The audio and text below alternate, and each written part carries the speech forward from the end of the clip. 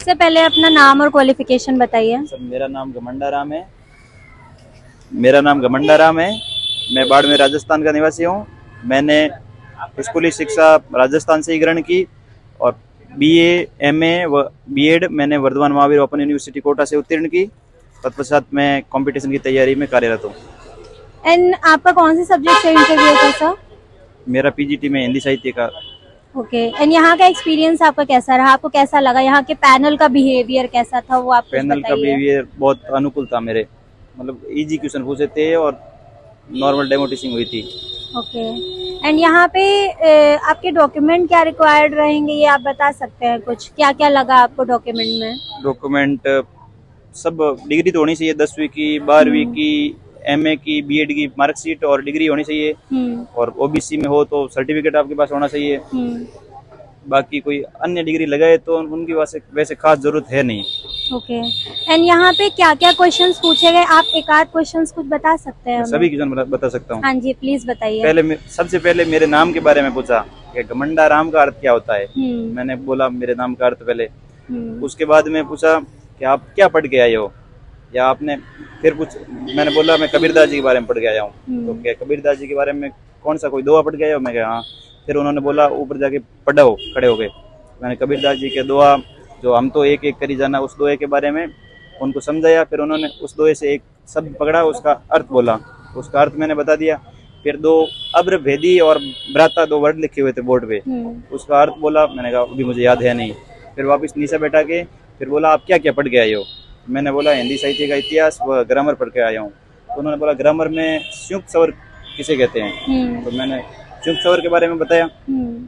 फिर संयुक्त स्वर संयुक्त स्वर कौन कौन से होते हैं? तो मैंने बता दिया अक्षत्र ज्ञस्र फिर उन्होंने बोला ग्रामर में अनुस्वार क्या होता है? हम्म। तो मैंने कहा जो पंचम वर्ण के रूप में यूज़ होते हैं जो ऊपर बिंदी के रूप में वो अनुस्वार होते हैं। फिर उन्होंने बोला ये पुस्तक पढ़ी है ना आरो? आरो के दो यूनिट है एक महादेवी वर्मा का और एक दुष्यंत कुमार का। इनकी कुछ पंक्तियाँ याद है तो बताओ। मुझे याद थी नहीं मैंने मना कर दिया। फिर हिंदी के बोला कि ये हिंदी दिवस कब मनाया जाता है? हम्म। मैंने बोला चौदह सितंबर को। ये क्यों मनाया जाता है? मैंने कहा उस दिन भारत सरकार ने एक राजभाषा के लिए एक्ट पारित किया था। हम्म। इसलिए बस इतना ही हुआ था फिर थैंक यू बोल दिया। एंड करंट बेस कोई क्वेश्चंस आए आपके पैनल करंट बेस कुछ नहीं था। आईसीटी एनईपी इनके बारे में कुछ था नहीं। काव्य शास्त्र से कोई क्वेश्चन था नहीं हम्म। हिंदी साहित्य के इतिहास से भी नहीं था। सब स्टूडेंट को अलग अलग क्वेश्चन पूछ रहे हैं। किसी को हिंदी साहित्य के इतिहास पूछ रहे हैं किसी को काव्य शास्त्र पूछ रहे हैं कोई किसी को भाषा खंड के बारे में पूछ रहे हैं।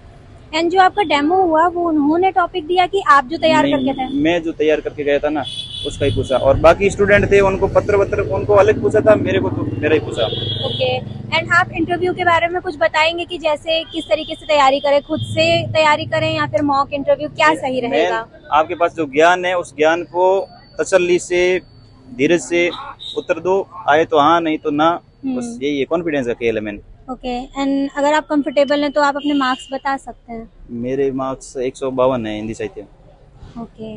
एंड आप हमारे स्टूडेंट्स या ऑडियंस को कुछ बताना चाहेंगे जिससे कि वो मोटिवेट हो सके? जिनको अभी इंटरव्यू देना है। हाँ जी। और जो हमारी ऑडियंस देख रही है इस वीडियो को? तो कॉन्फिडेंस से उत्तर दे एक तो सबसे बड़ी बात है कॉन्फिडेंस रखना है।